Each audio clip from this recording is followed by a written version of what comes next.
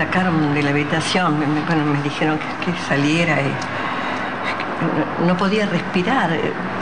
No sé, me dijeron que estaba como descompensada, ¿no? No, quédate tranquila ahora. Eh, ¿Por qué no te fijas si puedes ver a Erika? Sí, voy a intentar hablar con los médicos, ¿eh? Así que vos, por favor, quédate tranquila. Ya vengo.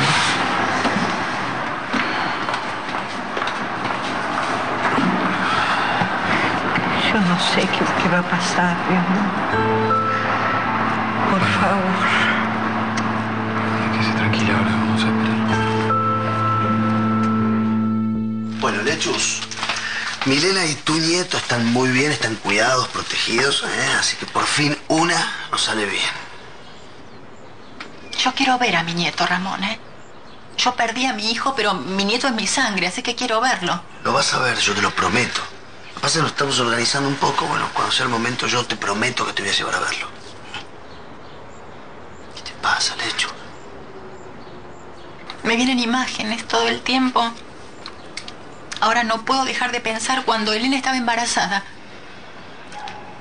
Me acuerdo que un día se descompuso en el consultorio de Alberto y él no quiso que Lisandro la internara, discutieron muy fuerte. Por suerte con, con unos medicamentos se le pasaba. ¿Hay medicamentos preparados? Eran medicamentos del laboratorio de confianza de Alberto.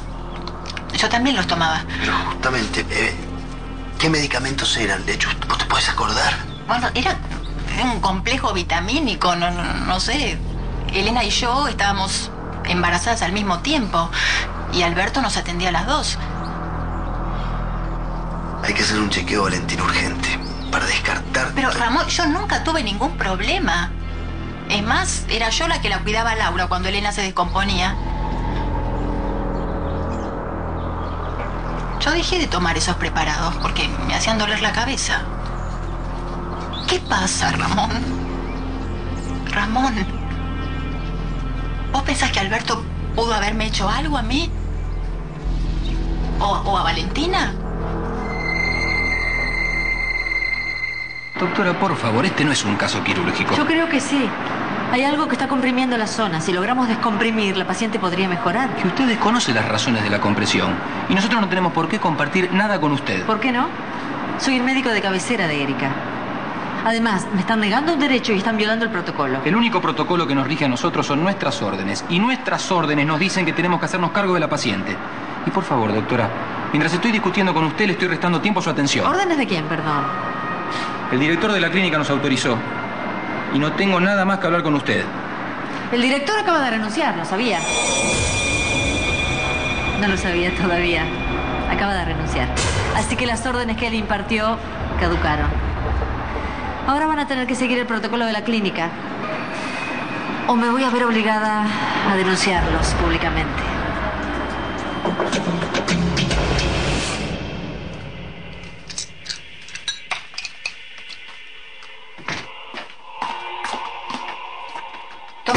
Carta para vos.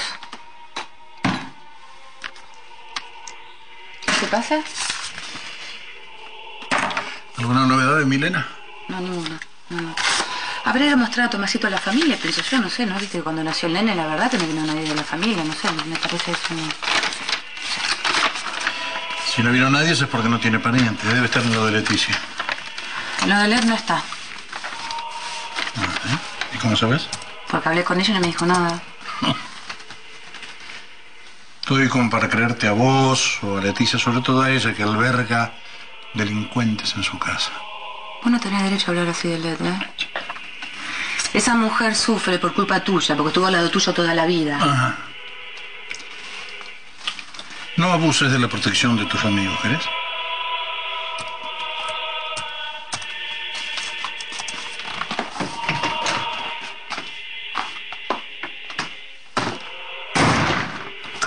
Éramos pocos y parió la abuela.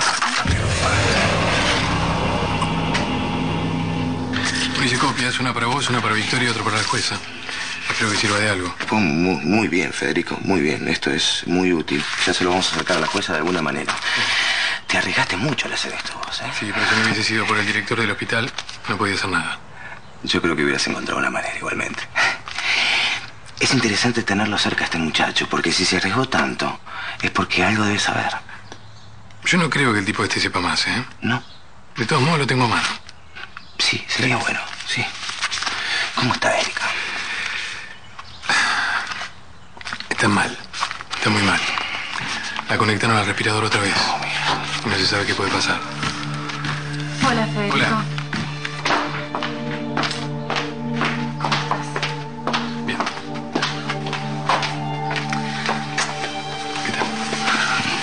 Verla, Erika. Sí, No sé si es posible, pero yo la Eh, necesito. la verdad que es, eh, no es lo adecuado. Eh, no, es la- no es buena idea. No sé si vos querés, yo puedo acompañarla. ¿Sí? Sí. Bueno, con dos custodios y con Federico y bien atentos y entrando y saliendo es, Sí. es posible. Bueno, gracias. Cuidado.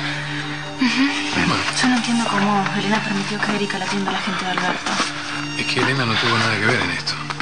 ¿Por qué? Fue Lisandro el que autorizó.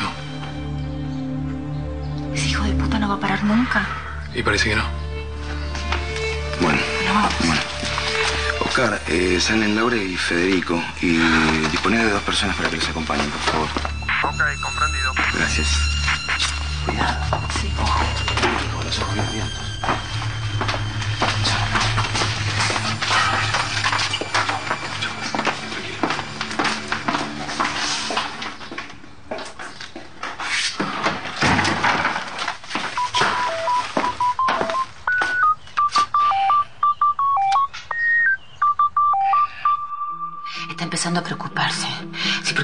Toda la culpa a Led, porque cree que Milena está con Led. Yo creo que tiene que tener mucho cuidado con esto, tiene que tener mucho ojo. Igualmente yo te digo, hay otra cosa que le preocupa mucho más, porque para que Álvaro se tome un tranquilizante es porque tiene que ser algo serio, ¿entendés? Mucho más serio que lo de Milena. No sé, para mí. ¿Y para vos qué puede ser? Bueno, para mí tiene que ser con el sobre que recibió, porque era un sobre muy raro, sin remitetes en un carajo. Y enseguida se reunió con el tipo de la clínica que están tratando a Erika, ¿entendés? Por ahí va la cosa. Santi. Albert viene a hacer algo así como el doctor Frankenstein. Ay, Dios. Ay, Dios mío, yo te metí en el tren fantasma y no puedo salir. La reputísima madre que me remil parió.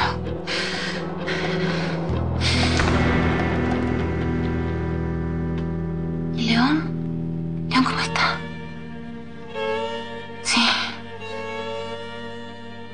Mándale un beso. Mándale dos. Sí. Bueno, gracias, Santi. Gracias. Chao, chao. León.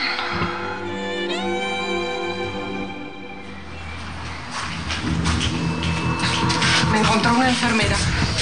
Me vio muy nerviosa. Zafé de milagro. Zafé de milagro. Escúchame. Sí. Tu libertad y lo que es más importante, tu salud y la de tu hijo, son posibles si haces todo lo que yo te digo. ¿Está claro?